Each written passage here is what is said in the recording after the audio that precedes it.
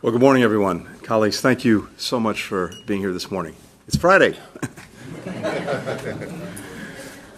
but I think we uh, sometimes uh, save uh, the best or the sometimes the most important for, uh, for last, and this is one of those um, examples.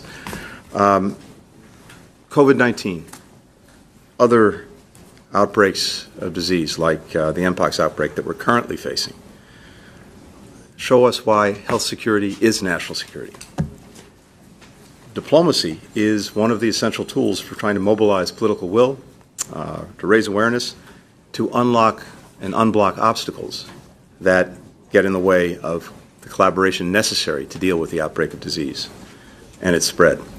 Uh, this foreign ministry channel for global health security was launched in March as a, a forum for all of our foreign ministries to work to proactively communicate, uh, to share information, to coordinate efforts to strengthen global health security. So I simply wanted to start by thanking everyone for your partnership in this endeavor, for your recognition that we um, all have a role to play when it comes to dealing with improving the health of our populations, both in our own countries and, uh, and around the world.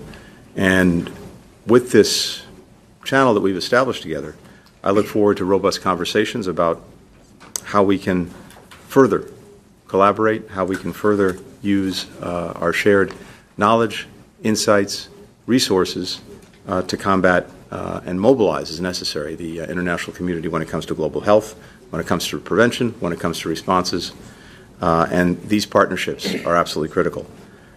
It's also important that um, we continue the work of doing um, work with critical multilateral funds like the Pandemic Fund.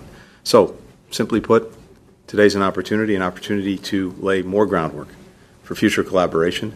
I think we all know from the COVID experience how essential that is, and I'm grateful for everyone's participation today. Thank you.